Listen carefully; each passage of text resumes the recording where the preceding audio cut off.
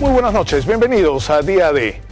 Fernando Díaz y Martín Sullón estuvieron en Sevilla, en España, con Richard Villalón, que es el primer peruano casado legalmente con otro hombre. Veamos.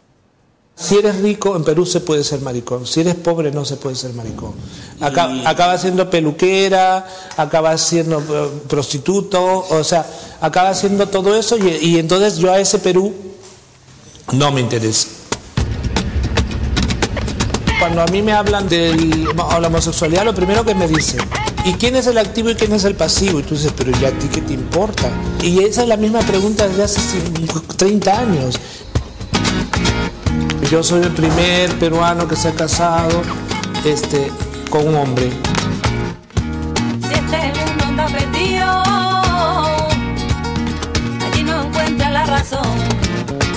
Tuvo que irse tan lejos para vivir la vida que siempre quiso vivir.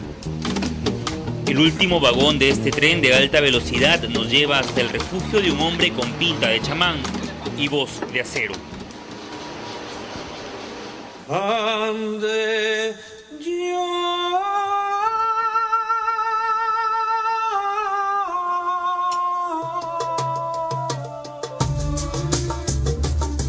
Peruano que se marchó para siempre de su tierra hace más de 20 años y que nunca volteó la mirada a esa Lima de los 80, escandalizada con la historia de un talentoso intérprete de la nueva canción, cuyo único pecado era amar a otro hombre. El primero fue mi amante de tres días. De tres días. ¿Y qué se sentía ser amante? Un gustito. se sentía bien. Yo le puse le puse un piso. Eso fue muy gracioso. Yo aquí sería la querida, La querida, era la querida, la querida. O sea, cuando yo lo conocí, a los tres días, le dije que por qué no se quedaba a vivir conmigo. Yo no estaba tan seguro. Seguramente me pasó lo que dice el dicho mexicano, que el amor a las mujeres las vuelve locas y a las locas pendejas. Quizás pocos o tal vez nadie conozca la trayectoria de este animal en extinción, pero Richard Villalón Sáenz era un intérprete de canciones de protesta un cantante que frecuentaba los más selectos círculos culturales y políticos de la época, pero que al caer la noche acababa preguntándose qué hace un homosexual cantándole a la alegría de vivir en un país como el nuestro. Negro y maricón. Negro y maricón y pobre no se puede ser. Lo que no te perdonan es el pobre. Eso no te lo perdona, porque un maricón pobre, mételo a la victoria un día sábado en la noche. Lo matan este es el fabuloso pueblo de Espartinas. Espartinas, famosa por Espartaco, el primer torero de, España. Aquí es donde ha nacido mi queridísimo esposo. Desde hace 10 años vive en Espartinas, un apacible lugar a 10 minutos de Sevilla, donde muchos valoran el exquisito talento del peruano Villalón, pero sobre todo, donde él puede ostentar sin rubor alguno el título del primer latino y por consiguiente el primer peruano casado con otro hombre bajo las nuevas leyes españolas. El primer hombre que yo le propuse casarme, mira que yo he tenido muchos, pero yo a él sí yo le decía que yo lo quería para casarme con él. Tenías el pelo largo, ¿no? Sí, hasta hace dos semanas, hasta hace un mes, un mes que tenía. O sea, ¿te casaste de pelo largo? Me casé de pelo largo ya que no podía usar vestido largo. ¿Pero te metiste de blanco? Me casé de blanco, que soy un gran hipócrita. no, no llegaba virgen, eso estoy seguro. ¿Y hubo arroz o qué le estaban diciendo? Nos echaron arroz, nos echaron arroz. ¡Ay! ¡Qué rico bandolero! Yo decía que José María es un hombre para casarse es un hombre para casarse, pero no por esa maldición de casarse y tenerlo, sino que porque tiene un cotidiano muy bonito y además te, te, ya te digo, es inspirador. En Lima, Richard Villalón no vivía de escándalos, sino de cantar esplendorosamente. No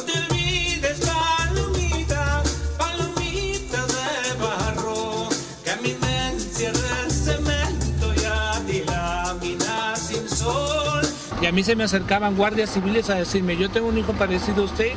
Y yo le decía, canta, y me decía, no es maricón. yo quiero el agua del río y la luna amarillenta. Tú quieres la medianoche.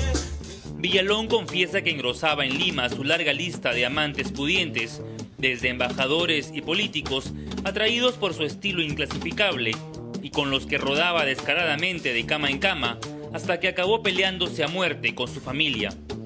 Yo me ligaba a todos, o sea, si yo sacara la lista, si yo desde curas, gente del, del Partido Comunista, gente de, de Miraflores propiamente, o sea, yo era el, no sé, ¿cómo se dice en Perú? La pinga, la pinga más, más culta de- del Perú, porque me follaba a todo mundo. Cuenta que un embajador holandés lo convirtió en su novio y lo llevó por todo el mundo. Estudió en Londres y paseó por la India. Sin embargo, un día después de arrasar con medio Lima, asqueado de tanta lujuria y desenfreno gay, decidió largarse del Perú en 1985 y refugiarse primero en México y luego en España. El peor castigo que le puede infligir un ser humano es que se vaya de su país. Te quitan el aire, te quitan el pan, te quitan el amor, los recuerdos, la madre. Todo eso es terrible. Fue uno más de los 130.000 peruanos que viven en una España reventada de extranjeros, dispuestos a hacer lo que sea por mejor futuro. Yo siempre animo a los peruanos que es mejor que, que aguanten más en el país. Porque al final de todo, no so- sí, al final de todo, las leyes de migración en Europa solamente sirven para que vengamos a limpiar culos a los viejos, a recoger fresas o para ser domésticos.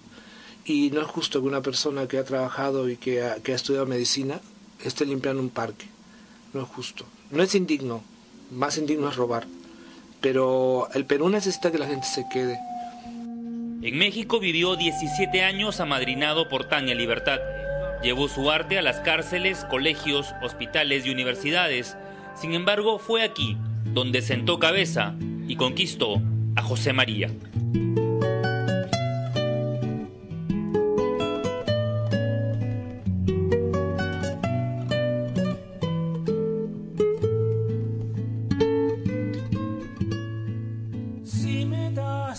Luna, ¿dónde la pongo? Pa' ti la fortuna, pa' mí el estorbo. Si la amarras de un hilo, pa' que me sigas y te vaya contando, y te vaya contando tantas mentiras. No, es mi primera relación homosexual. Sí, yo no sé lo que pasó, algo. No sé lo que me produjo. Una cierta magia o algo que pasó, que, que me enamoré perdidamente.